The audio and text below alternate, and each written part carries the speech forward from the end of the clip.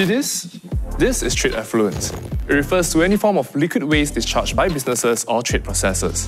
Did you know that all used water discharged by businesses into the sewers in Singapore is regulated? Come, I'll tell you more. Hi everyone, I'm Stefan, an executive engineer with the Water Reclamation Network at PUB. Because water is a precious resource in Singapore, we don't just discard it. Used water, which includes trade effluents from industries, is collected, treated, and purified to produce ultra-clean NEWater, one of Singapore's four national taps. That's all well and good, but why must we regulate trade effluents?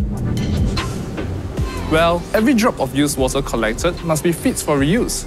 But trade effluents can sometimes contain hazardous substances such as synthetic chemicals, heavy metals, cyanide, and petroleum hydrocarbons. This can endanger the health and safety of workers maintaining the public sewage system and disrupt the water reclamation process. That's where I come in. PUB enforces the Sewerage and Drainage Act and its subsidiary legislations. It is my job to ensure that trade effluents discharge from industries meets the discharge requirement. So, if your business generates trade effluents, you must first obtain a permit from PUB. You can apply for it via Go Business, the go-to platform for businesses in Singapore to access government's e-services and resources. In addition, you should install a wastewater treatment plant to pre-treat your trade effluents or engage licensed waste collectors to dispose of your non-compliant trade effluents. So what are some tips to manage your trade effluents effectively? Firstly, provide proper containment for chemicals. In the event of a chemical spill, use spill kits or absorbent pads to contain the spillage. Remember, do not wash chemicals into the sewers. Only engage licensed toxic industrial waste collectors to collect your used hydrocarbons, spent solvents, laboratory waste, and other toxic industrial waste. Ensure that all staff are trained on proper segregation and disposal of chemicals, as well as identifying signs of non-compliant trade effluent, including abnormality in color and smell.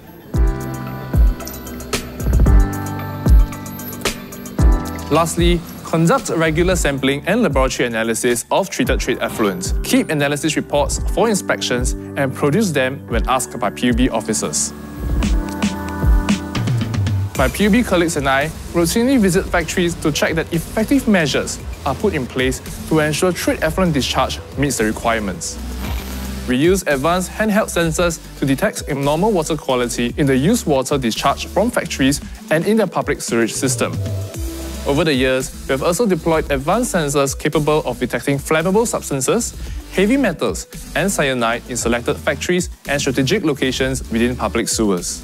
Through this comprehensive monitoring system, we are able to track the health of the public sewage network around the clock and respond swiftly.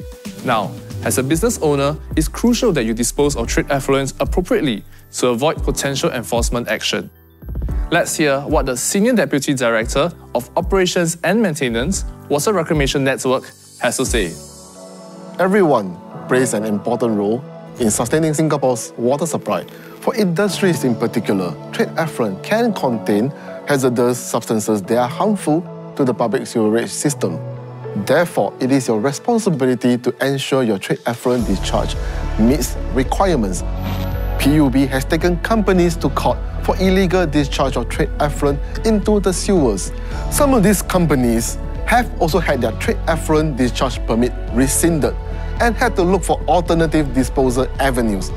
These enforcement actions are essential to safeguard our used water resource. All businesses can play a part in protecting our water resources. Let's all work together and contribute towards water sustainability in Singapore.